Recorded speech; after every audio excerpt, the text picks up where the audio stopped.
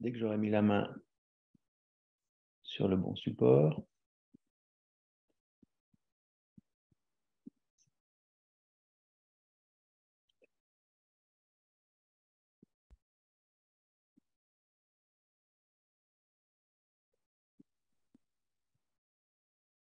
Voilà, donc euh, pour cette présentation, deux temps. Voilà, pour cette présentation, donc deux, deux temps. Un premier temps où nous allons présenter euh, un petit mot d'introduction sur, euh, l'UNIR, l'IAE, l'IGR IAERN, et puis les trois modalités d'enseignement du Master Comptabilité Contrôle Audit, à savoir la formation initiale, la formation par alternance, l'apprentissage, et la formation continue. Nous allons nous présenter euh, à gauche, euh, Laurent Lehen, donc euh, co-responsable du master CCA en formation initiale. Christophe Alors, pour ma part, co-responsable avec Laurent du CCA en formation initiale et j'interviens dans le diplôme sur la DSCG3. Voilà. Roselyne Crambert ne peut pas être avec nous ce soir.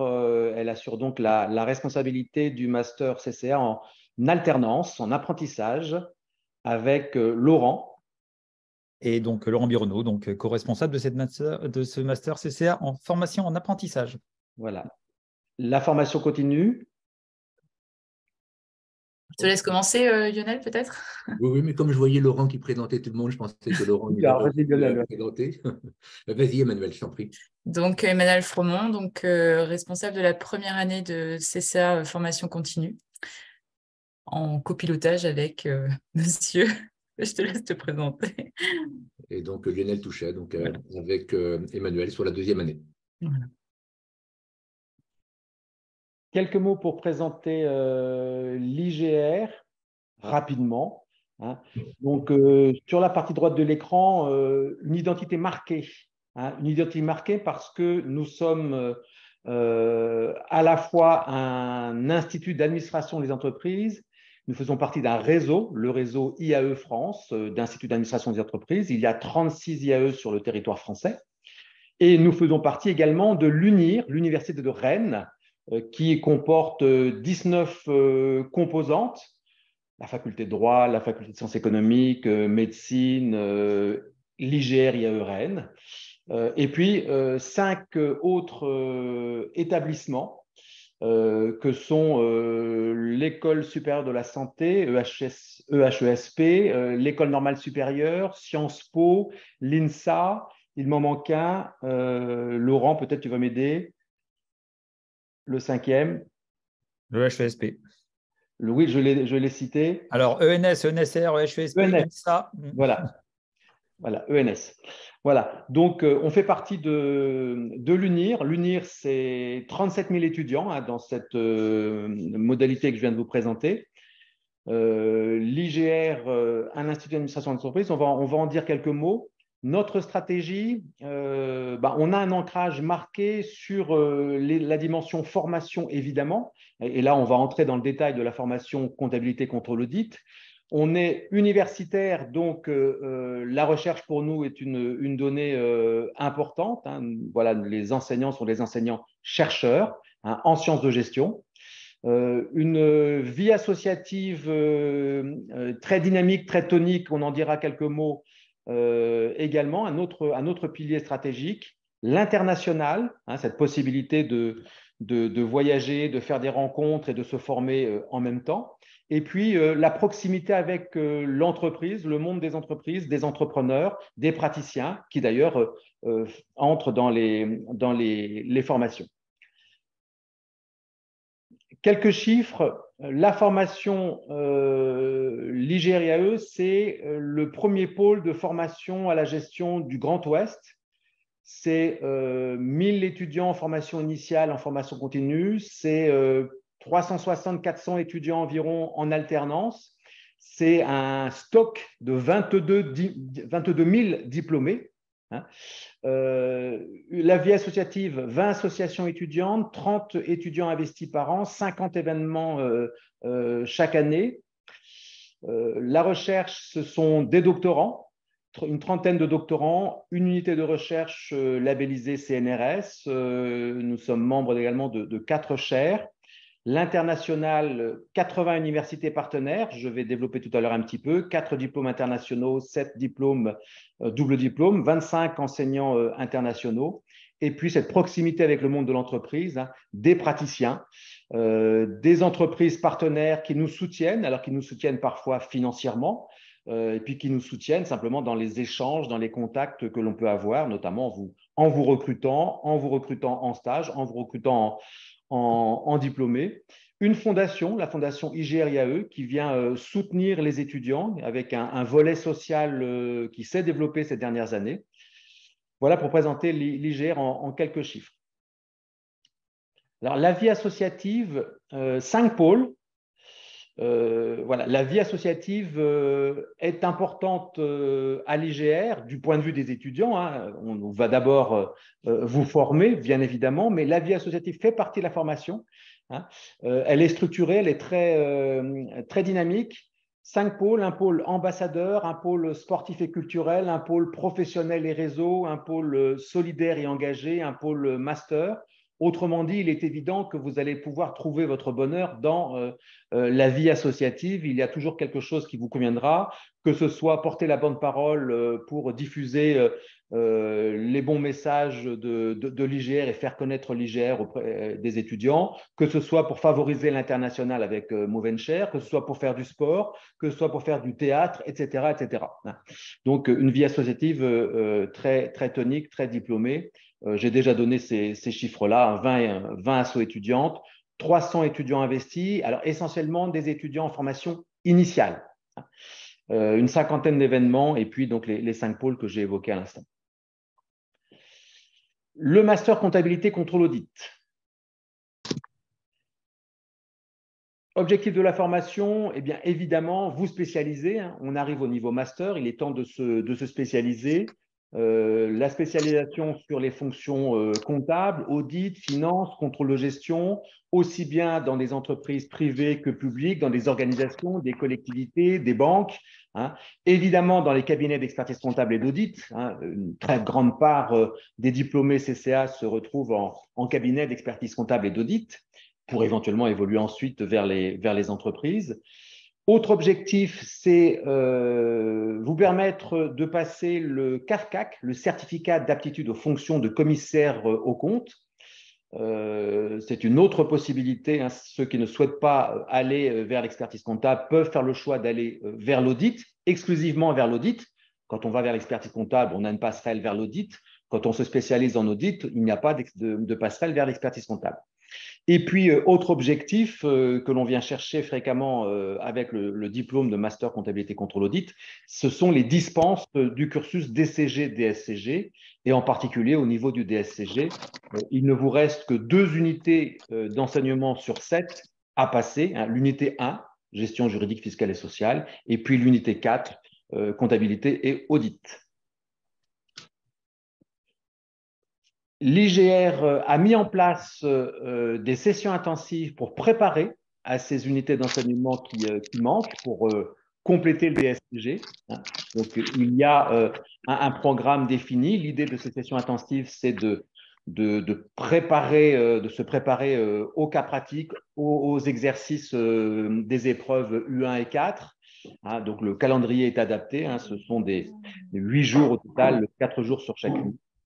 Euh, et puis une préparation également au, diplôme d'expertise comptable, euh, deux séminaires par an, un séminaire animé par euh, Rosine Crambert, qui est donc en charge avec Laurent Bironneau de, de CCA en apprentissage, et puis moi-même, j'anime l'autre séminaire de, de, préparation au mémoire de diplôme d'expertise comptable. On passe à la formation initiale, puis on enchaînera sur la formation par apprentissage et la formation continue. Donc, les, deux responsables, Christophe Herriot et moi-même, euh, Laurent Lehen, que vous avez à nouveau en photo. Fonctionnement du master euh, en formation initiale, euh, une trentaine d'étudiants en master 1, une trentaine d'étudiants en master 2, les mêmes. Hein. il y a peu d'accès directement en master 2, ça suppose d'avoir déjà validé son master 1. Le rythme euh, en master 1, euh, deux semestres, on va donc de septembre à fin mars et le stage débute dès début avril. On détaillera le, stage juste après. S'agissant du Master 2, l'année est très courte du point de vue de, l'enseignement. Hein. les semestres 9 et 10 se font sur quatre mois au final. On démarre début septembre et on termine fin décembre, examen compris et vous partez en stage pour 4 à 6 mois à partir du mois de janvier. L'équipe euh, du master CCA, outre les personnels administratifs, les personnels enseignants, ce sont bien évidemment à la fois des universitaires et des praticiens. On ne peut pas concevoir un master CCA sans la présence des, praticiens. Contenu du master 1, euh, alors le, programme a été euh, remanié. Alors, il s'appuie toujours sur euh, euh, le DSCG, bien évidemment, mais le programme a été remanié dans les, dans les trois modalités d'enseignement, FI, FA, FC, et entrera en application ce nouveau programme à la rentrée 2023. Donc là, vous avez quelques, quelques éléments sur le, sur le programme. Vous repérez évidemment qu'il y a une très forte proximité avec le DSCG. Il y a des petits plus par rapport à, un programme de DSCG, hein, qu'on soit euh, en M1 ou en M2. Hein. je vous laisse regarder un petit peu aussi le, programme du, Master 2 hein, que, je ne, que je ne déroule pas. Euh, vous avez environ 900 heures, un peu moins, entre le Master 1 et le Master 2 euh, d'enseignement. une petite remarque, le master, euh, en formation initiale euh, est assez marqué par une orientation que nous avons mise en place, euh, Christophe Herriot et moi-même, et en particulier grâce à l'impulsion de, Christophe, euh, on a mis en place euh, une orientation marquée data, BI, euh, système d'information décisionnel. Hein. Donc l'idée, c'est bien de, répondre aux attentes des entreprises et des cabinets, c'est de prendre en compte les évolutions des métiers, aussi bien en audit qu'en expertise comptable. Oui, juste pour compléter, Laurent, juste pour compléter, que ce soit en FI, FA, FC, cette supplémentation en, en système d'information et BI permet de compléter un programme euh, de l'UV classique, euh, management DSI, euh, qui était vécu quelquefois par les étudiants comme un peu théorique. Donc là, l'idée, c'est de renforcer en cas, en pratique, auprès de logiciels qui sont ceux, la plupart du temps, pratiqués par les, par les cabinets. Hein.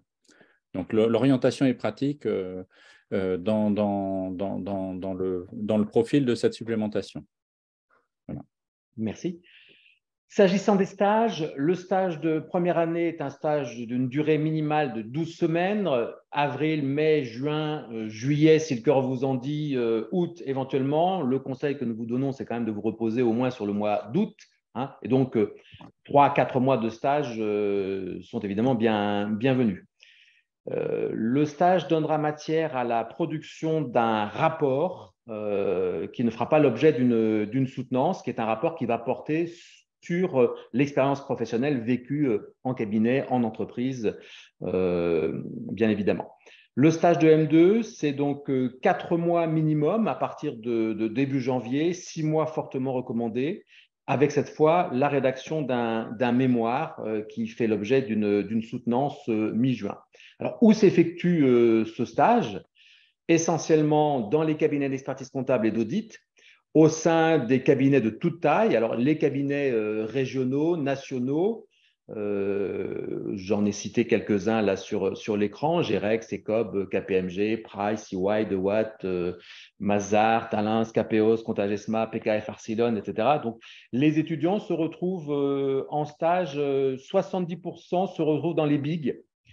voilà, majoritairement les étudiants sont dans les cabinets euh, mais un stage dans une belle entreprise, dans une grande entreprise, dans un service comptable, consolidation, contrôle de gestion, euh, tout ça est, évidemment euh, tout à fait pertinent dans le, dans le cadre d'un master CCA.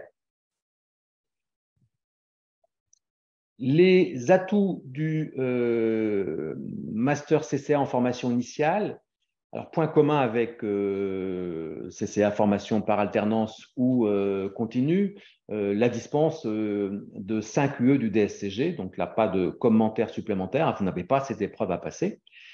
La possibilité d'effectuer un cursus à l'international. vous pouvez très bien, s'agissant du semestre 1, du master 1, passer ce semestre à l'étranger dans l'une des 80 universités partenaires. Ça peut être une année complète, une année césure, entre le Master 1 et le Master 2. Ça peut être aussi euh, un double diplôme avec le MBA comptabilité euh, au Canada, l'Université Laval à, Québec. Euh, là, c'est la possibilité de passer une année, alors l'année civile, hein, en Master 2, vous effectuez vos semestres de septembre à décembre, vous passez les examens, donc vous avez passé toutes les matières, vous n'avez rien perdu en termes de contenu, mais au lieu du stage à partir du mois de janvier, vous partez pour une année euh, à l'Université Laval et euh, vous allez passer le MBA comptabilité. Hein. Il y a généralement deux, trois étudiants chaque année qui partent euh, dans le cadre de ce programme organisé par une très, très, très belle université. Donc, des stages à l'étranger également. Hein. ça peut être dans le cadre de votre année césure. Euh, des carrières à l'international. J'ai eu récemment des, nouvelles d'un de nos diplômés euh, qui, euh, suite à son MBA comptabilité à Laval, s'est installé au Canada et, travaille au Canada depuis quelques années maintenant. Voilà, ce sont donc des, profils recherchés par les grands cabinets. Alors, il n'y a pas d'obligation à avoir une dimension internationale sur son, sur son CV, mais c'est vrai que c'est apprécié. Puis, c'est l'occasion de, de, bouger. Hein. Les voyages forment la jeunesse, paraît-il. Euh, c'est l'occasion de, bouger dans un cadre euh, qui tout de même euh, permet de vous former. C'est aussi une sorte de cursus en alternance, hein, autre atout, un cursus en alternance. Alors, ça n'est pas l'alternance du master en apprentissage que, présenteront, que présentera Laurent Bironneau tout à l'heure. C'est 11 mois d'expérience professionnelle sur la totalité du, master, 11 mois possibles. Hein. Fréquemment, c'est 9 à 10 mois. Hein. On fait souvent 3 à 4 mois en master 1 euh, six mois en Master 2. C'est la possibilité de varier les expériences professionnelles, c'est même une recommandation de, notre part. Hein. En, Master 1, vous pouvez aller euh, euh, vers un cabinet d'expertise comptable, faire de l'expertise. En Master 2, faire de, l'audit parce que vous souhaitez intégrer le métier d'auditeur à l'issue du Master 2. donc, vous allez privilégier le stage du Master 2 pour le métier que vous voulez intégrer, sachant que vous avez une, proposition d'embauche euh, de manière très, très fréquente euh, à l'issue de votre stage. Euh, c'est la possibilité en Master 1 en particulier d'aller aussi faire un stage dans une entreprise pour voir comment fonctionne une entreprise dans un service comptable, dans un service consolidation. Hein. Donc là, possibilité de, varier les expériences entre le Master 1 et le Master 2. Vous constaterez que fréquemment, les cabinets vous recherchent d'abord pour le Master 2, euh, qu'ils euh, veulent bien vous prendre en Master 1 parce que vous prenez souvent l'engagement de, faire le, stage de Master 2 euh, chez eux. Là, vous êtes tout à fait libre, mais dès lors que vous prenez un engagement, évidemment, vous devez le respecter. Voilà. Le stage de Master 2 doit être considéré comme un, comme un, un stage de pré-embauche. Hein. Ça correspond à une longue période d'essai si, l'on veut. donc, fréquemment, proposition à l'issue en CDI. 97% hein. euh, des, diplômés euh, se voient proposer un, CDI euh, à l'issue de leur, de leur diplôme. Parfois de bonnes rémunérations en stage. Il y a des différences entre région parisienne et, province, évidemment, mais parfois de bonnes rémunérations en stage. Autre atout, la vie associative, hein, plutôt faite pour les étudiants en formation initiale. Donc, on disait tout à l'heure une, vingtaine d'associations il y a un, programme qui va euh, se mettre euh, en place à compter de la rentrée prochaine avec la dimension gestion de projet hein, à travers cette vie associative euh, qui pourra donner matière à un badge vie associative. donc là, intéressant de, vous, voilà, de vous impliquer dans la, dans la vie associative ce que l'on peut constater, c'est que euh, les étudiants de CCA sont euh, présents dans les assos, souvent dans des fonctions euh, tout à fait intéressantes et, qui, permettent de se, former, hein, la présidence, trésorier, etc. Donc un investissement là aussi très apprécié sur le curriculum vitae. Et donc désormais, la vie associative fait partie du programme de formation. Autre atout, euh, votre profil, euh, alors c'est un point commun avec euh, CCAFA, CCAFC, hein, un profil spécialisé et transversal. Hein. Cette capacité que vous avez compte tenu du programme euh, du master, euh, de passer d'une fonction à une autre euh, avec facilité. Hein. Donc, vous ne vous enfermez pas dans un métier. Vous, avez une, possibilité de, commencer votre carrière, c'est fréquent, dans un cabinet d'expertise comptable, d'enchaîner ensuite diplôme d'expertise comptable en poche parfois au sein d'une direction administrative et financière, passer dans un service contrôle de gestion, intégrer un service consolidation. Donc, vous avez un profil euh, très large, donc très apprécié, euh, qui permet de la mobilité professionnelle, hein, pas seulement géographique. Et puis une insertion professionnelle aisée, insertion professionnelle puisque euh, il n'y a strictement aucune difficulté euh, à obtenir euh, un job à l'issue de votre formation, 100% hein, d'insertion professionnelle, ça vaut pour, pour l'AFA également, 100% hein, d'insertion professionnelle. Donc c'est une formation qui est plutôt rassurante de ce point de vue-là. Il y a même des besoins énormes. Les, cabinets nous sollicitent, nous six, les responsables des, masters CCA de l'IGR, fréquemment euh, se plaignant de ne pas avoir assez de, diplômés ou pas assez de, stagiaires ou d'apprentis. Donc l'insertion professionnelle, euh, quelques chiffres, euh, en cabinet, plus de 90% hein, de nos diplômés, près de 70% dans les bigs avec de meilleures rémunérations, surtout en, région parisienne. Alors c'est vrai qu'en région parisienne, on dépense plus aussi, ne serait-ce que pour se loger, se déplacer. Euh, des rémunérations qui euh, sont intéressantes. Hein, euh, la rémunération d'embauche est de l'ordre de, 34-35 000 euros pour un, cabinet parisien. Donc, ouverture professionnelle, voilà, expert comptable, auditeur, consolideur, RAF, DAF, etc. Et je passe la, parole à, Laurent qui va vous présenter la formation en apprentissage. Merci Laurent. Alors, donc, euh, globalement, euh, les, éléments qu'a évoqué Laurent sont très proches hein, de ceux que je vais vous euh, présenter. Hein. donc, je vais essayer d'être un peu plus rapide. Donc, s'agissant du, fonctionnement de l'apprentissage, hein, donc l'apprentissage va se réaliser majoritairement donc, en cabinet d'audit ou d'expertise comptable. Aujourd'hui, sur nos apprentis, allez, 95% sont plutôt sur des cabinets.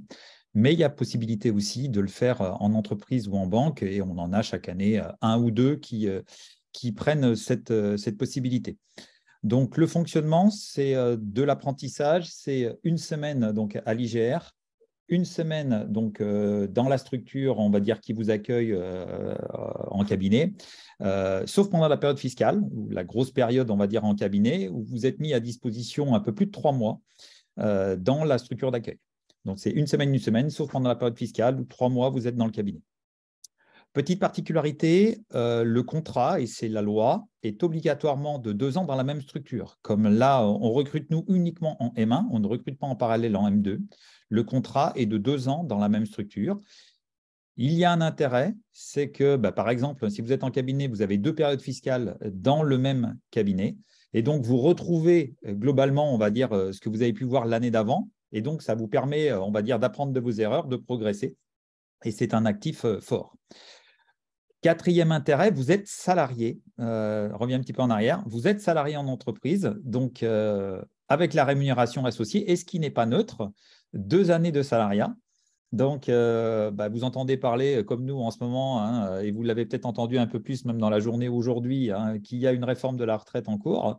Bah, ça fait gagner deux ans hein, d'activité par rapport à un étudiant en statut classique, donc euh, lié au salariat, avec bien sûr la paye liée au salariat et tous les avantages liés au salariat. La promotion euh, donc de 2021-22, euh, on avait, c'est de, celle de 2022, hein, on a 33 apprentis donc en Master 1 et on a 32 apprentis en Master 2. Quand vous regardez leur répartition, ils sont très majoritairement, je vous le disais, donc en cabinet. On a des exemples en entreprise, comme Roulier par exemple cette année. Sur la répartition des activités qu'ils font dans le cadre de leur mission euh, en entreprise, il y en a un tiers qui sont en audit aujourd'hui, un tiers qui sont en expertise. Le reste, c'est soit des personnes qui font les deux activités. Il y a encore des cabinets aujourd'hui où des équipes euh, peuvent faire à la fois de l'audit et de l'expertise, euh, où ils sont sur des activités autres, Ceux qui sont en entreprise, par exemple, hein, peuvent être dans des activités telles que la, consolidation, l'élaboration de tableaux de bord, mais majoritairement, c'est audit expertise. les cabinets sont très variés, hein, à l'image de ce qui a été évoqué tout à l'heure sur la formation initiale. globalement, ça va du big au cabinet local, euh, sachant que les cabinets locaux dont on parle hein, peuvent être plus gros hein, que, les bigs localement. Hein. Euh, et ça va de cabinets euh, essentiellement sur le périmètre rennais, c'est à peu près plus de la moitié, on va dire, de la promotion, ou en dehors. Et quand je vous dis en dehors, c'est très majoritairement en Bretagne. On en a 4 ou 5 dans le Finistère cette année. et bah voilà, vous avez la carte, c'est plus simple sur la promotion de, M1. Donc, vous voyez, hein, la moitié euh, en Bretagne, euh, la moitié sur Rennes ou dans le périmètre, et l'autre moitié dispatchée, on va dire, dans le Grand Ouest. Sur les, euh, étudiants de M2, vous voyez, la répartition est globalement à peu près similaire, sachant que bon, ça ne nous pose pas de question si les étudiants, on va dire, sont, loin. Je préfère être sur leur lieu de vie, on va dire, familial, qu'à proximité de leur vie étudiante.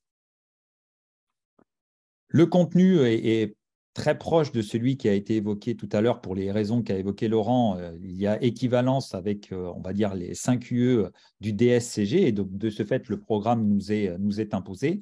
Si vous regardez la structuration, on va dire, de la manière dont ça fonctionne chaque semestre, on a collé l'organisation euh, de la formation DSCG, hein, donc avec les différentes UE que vous retrouvez, UE gestion juridique fiscale sociale, UE finance, UE management contrôlation, la compta, etc sur les, UE classiques du DSCG, euh, et ça euh, sur les deux années. Donc, euh, je ne vais pas rentrer dans le détail des contenus. Hein, ce sont les contenus obligatoires hein, avec un petit focus, comme l'évoquait Christophe tout à l'heure, sur la partie BI, data visualisation, etc. Mais de fait, ce sont les contenus des programmes nationaux. Alors, petite particularité, ce qui explique la flèche qui a été positionnée, vous avez une préparation intégrée dans le cadre du, master à la préparation euh, du DSCG. Donc, euh, sur les deux UE qui manquent, donc l'UE1 et l'UE4, hein, donc, euh, que vous pouvez passer dès l'issue de la formation. Donc, ces préparations sont en juin. Le, les UE DSCG sont à passer généralement en octobre. Donc, il y a une préparation intégrée dans le cadre de la formation. Si je résume ce que je viens de vous dire, donc euh, en termes de contenu euh, de l'organisation de la formation par apprentissage, donc euh, la dispense de 5 UE du DSCG et la préparation des deux UE manquantes, une répartition sur toute l'année des enseignements de chaque discipline. Donc, il n'y a pas le droit au premier semestre et, et après, il n'y en a plus. Non, on a organisé ça sur les deux ans. Chaque semestre, vous avez toutes les matières à traiter, on va dire, liées au DSCG. Euh, c'est découpé euh, de la même manière que les blocs de compétences. Alors, je vous parle peut-être, c'est peut-être un langage spécifique aux enseignants, mais sachez que toutes nos formations, qui sont des formations de diplômes nationaux, sont euh, déposées dans des registres spécifiques des formations donc, au ministère de l'enseignement supérieur. Et les formations sont découpées dans ce qu'on appelle des blocs de compétences ces blocs de compétences sont valorisables sur le CV. Quand vous dites que vous avez le bloc de compétences comptable du master CCA, un recruteur, c'est ce dont il s'agit. Il y a la pédagogie de l'alternance, donc avec les allers-retours théorie-pratique, une semaine chez nous, une semaine en cabinet. Donc, vous pouvez appliquer directement ce que vous apprenez euh, en cours. Et par ailleurs, hein, bah, je dirais, quand vous êtes en entreprise, euh, bah, vous, euh, quand vous revenez en cours, hein, bah, vous voyez tout de suite, vous comprenez mieux le cours relativement au fait que vous l'avez vu en entreprise peut-être la semaine d'avant en termes d'application concrète. Il y a deux périodes fiscales en cabinet. Donc ça, c'est vraiment valorisable. Euh, il y a une insertion professionnelle euh, je dirais, qui est aussi aisée et rapide qu'en formation initiale. Hein. L'an dernier, la promotion hein, a été 100% recrutée euh, directement à la sortie. le statut salarié, je vous ai parlé pendant les, deux ans, hein, ce qui peut être aussi pris en compte dans le cadre du salaire d'embauche, lié au fait que vous avez eu deux ans d'expérience et en particulier quand vous restez dans la même structure. Et enfin, il y a un double suivi tout au long du master, en ce sens que euh, vous êtes affecté, c'est la loi, euh, dans le cadre de l'apprentissage, un tuteur dans l'entreprise d'accueil. Et par ailleurs, vous avez un enseignant-chercheur qui est référent à l'IGR euh, sur les deux ans. Donc, la raison pour laquelle c'est moi qui présente ce soir, hein, c'est que donc, nous sommes deux co-responsables. La promotion rentre entre l'année prochaine, donc c'est moi qui vais la suivre pendant les deux années. ma collègue actuellement suit les étudiants qui sont en Master 1, suivra ceux qui seront en Master 2 l'année prochaine. Et donc, moi qui suis les M2 cette année, l'année prochaine, je suivrai les M1 et donc pour les deux années de la formation. Voilà pour euh, présenter très rapidement la formation et euh, je pourrai répondre à vos questions euh, à l'issue bah, de, la présentation de la formation continue. Je te passe la main, Lionel. Merci. Emmanuel. Bonsoir. Alors pour la formation continue,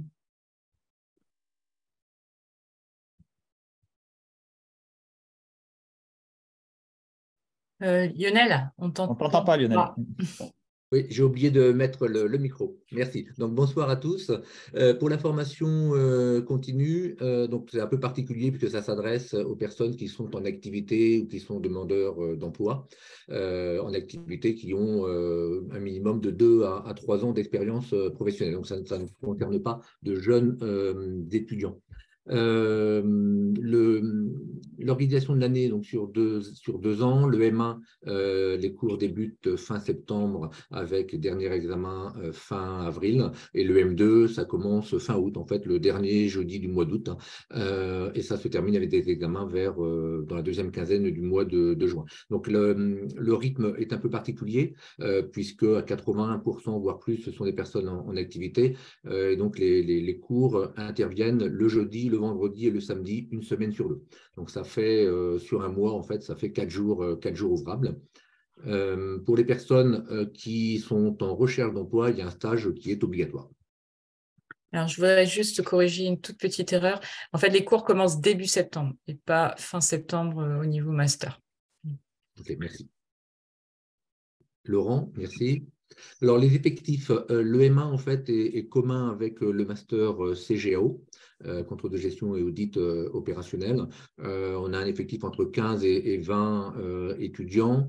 il y a à peu près les deux tiers, trois quarts des cours qui sont communs au CGAO et au, CCA, et puis le, solde spécifique à chaque parcours. En revanche, le M2 est spécifique aux étudiants du master CCA selon les années, il y a entre 18 et 23, 23 étudiants. le profil des, des étudiants est très, très variable. Euh, on a une promotion qui n'est pas homogène et c'est ce qui fait aussi sa, richesse. Euh, on a bien sûr euh, classiquement des, étudiants qui sont en cabinet, donc ils font des masters pour aller avancer dans le cursus d'expertise comptable. Mais on a aussi des gens qui sont en reconversion. Tous les ans, il y a je dirais entre deux et trois banquiers, entre guillemets, euh, qui, euh, après quelques années en banque, en raison de, la pression commerciale qui existe, euh, souhaitent se réorienter et intègrent, par exemple, le master, le master CCA. Donc, des profils très divers, de tous âges, même si la, population rajeunit ces dernières, ces dernières années. Le stage pour les personnes en recherche d'emploi, c'est en cabinet, c'est en entreprise. Euh, voilà, ça concerne que quelques étudiants. La, plupart d'entre eux sont en activité.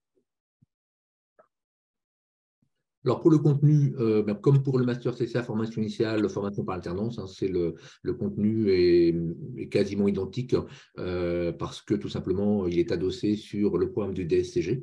Euh, c'est une obligation de contenu des dispenses que le master CCA octroie. pour revenir ce que disait Laurent, le premier interlocuteur, effectivement les, nouveautés à compter de la rentrée 2023, c'est un accent plus important qui est mis sur, sur les SI. et puis euh, également, mon collègue n'en a pas parlé, euh, également, euh, il y, a un nouveau cours qui est introduit qui porte sur le reporting de durabilité, ce qui est très important parce que les, cabinets commencent à, rechercher des, candidats. Le reporting de, durabilité, c'est un projet de l'Union européenne qui va se mettre en place en 2025 sur les états financiers 2024 et qui concernera au fil de l'eau environ 50 000 entreprises. C'est-à-dire qu'à côté du référentiel financier, il va y avoir désormais un référentiel euh, extra-financiers, les, cabinets euh, sont en train de, s'y préparer. Voilà, donc les, dispenses, évidemment. Euh, le master en soi prépare aux UE 1 et 4. Il n'y a pas de préparation en tant que telle d'intégrer dans, le master, parce que tout simplement, en fait, les, cours relatifs à ces UE sont intégrés dans le master. Donc, c'est déjà inclus dans, la préparation du master.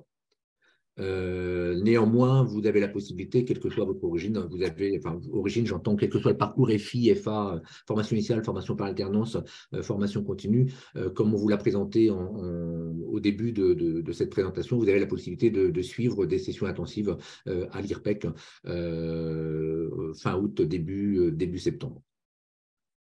L'intégration en master alors, se fait soit en M1, soit directement en M2.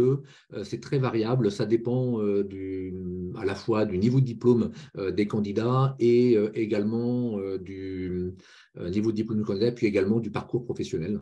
Euh, voilà. En fonction de, ces deux critères, euh, l'intégration, lorsqu'il y a, lorsque la candidature est retenue, l'intégration se fait soit en M1, soit en M2. Alors, classiquement, alors ce n'est pas le cas cette année, mais classiquement, en M2, il y a environ 50% de la promotion qui provient du M1, et puis 50% de la promotion qui intègre directement le, le M2.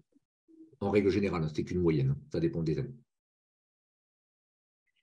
Merci Lionel. Le deuxième temps de cette présentation, ce sont vos questions.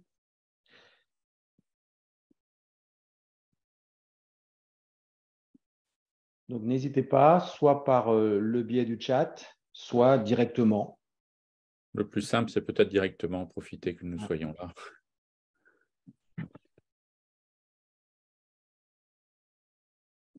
Osez.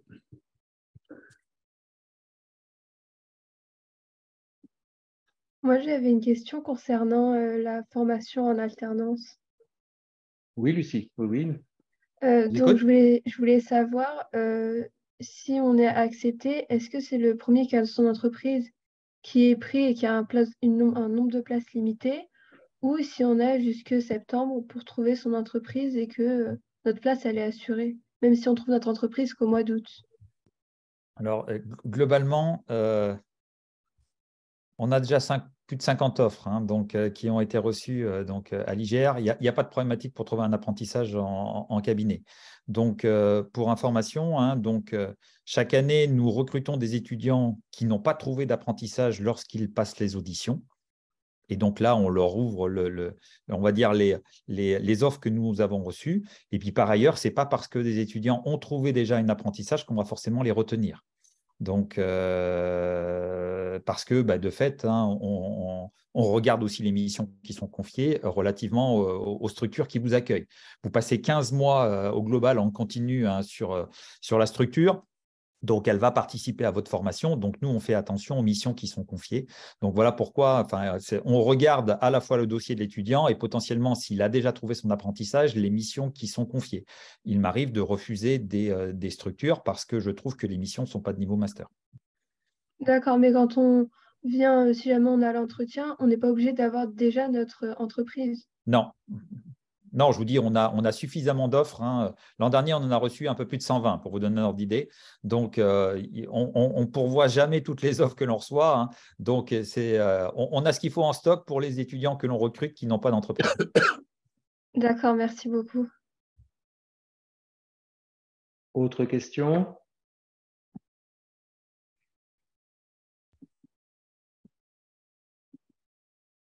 N'hésitez pas à intervenir directement.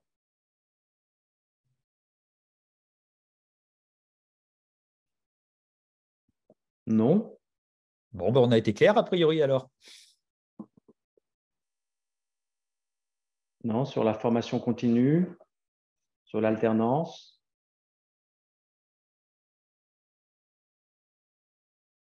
Alors, les comptables sont traditionnellement timides, mais alors là, euh, vous en êtes une belle illustration.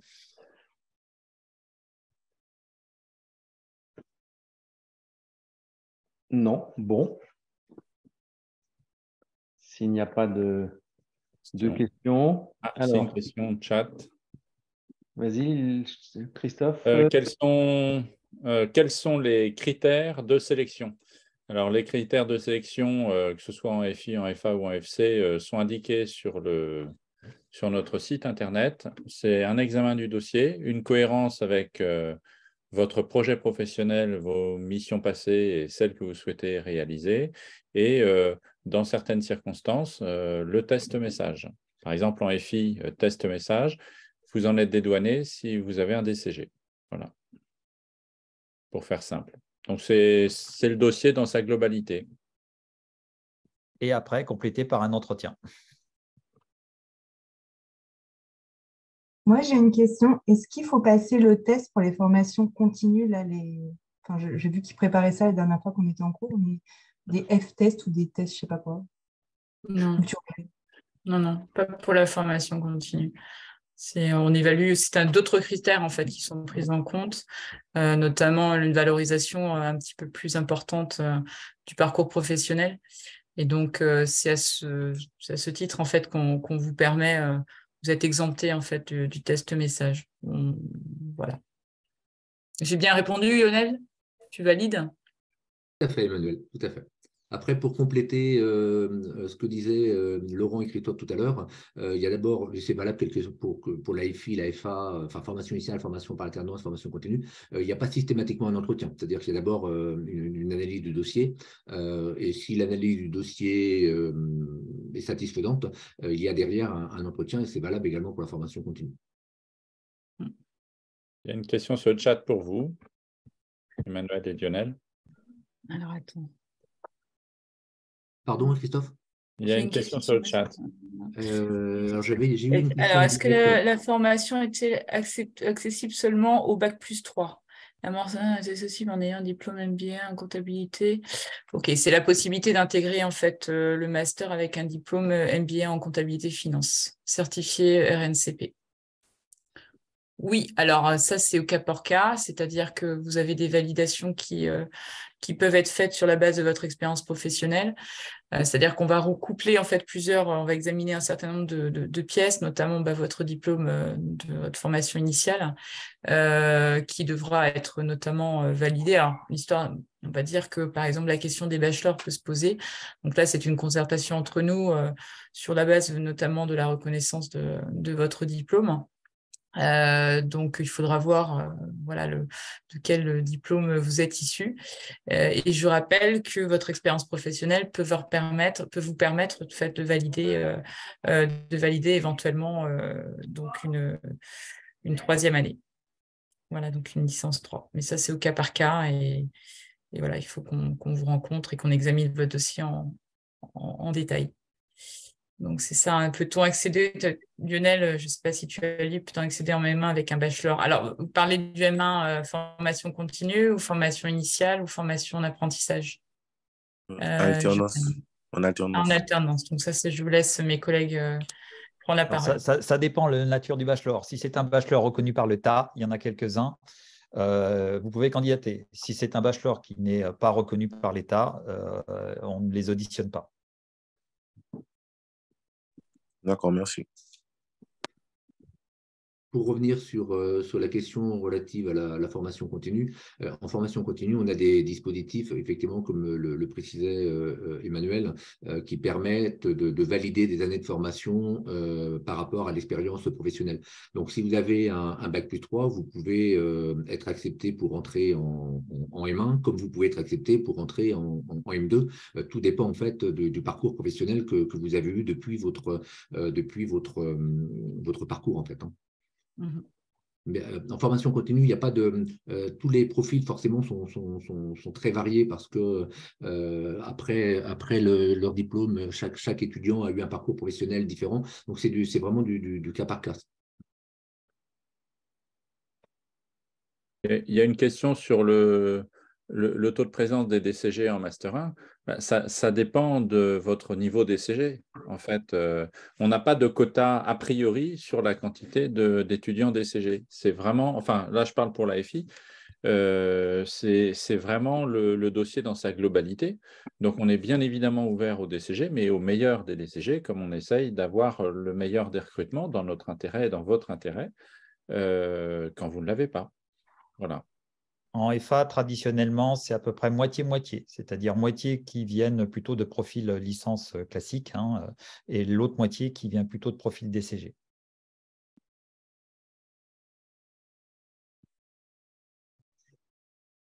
D'autres questions?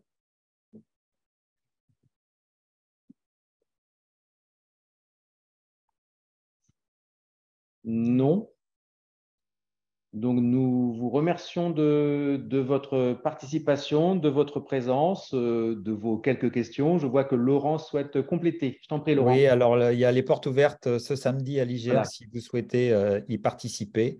donc, pour visiter nos locaux, voir les, conditions de travail donc, chez nous, rencontrer éventuellement certains enseignants. Voilà, voilà c'est ouvert toute la journée, samedi, n'hésitez pas. Voilà, il y aura deux conférences l'une de présentation de, l'IGR global avec notre directrice générale Gonal Paul Porocabois et, moi-même, et puis une conférence sur euh, l'itinéraire de l'étudiant au sein de, l'IGR, hein, une deuxième conférence. Et puis voilà, c'est l'occasion de, venir nous, rencontrer, de rencontrer des étudiants et d'échanger, de, discuter avec les étudiants. Euh, c'est aussi une valeur sûre. Nous vous souhaitons une bonne soirée. Au revoir. Merci à vous. Bonne soirée. Merci. Bonsoir. Au revoir. Merci.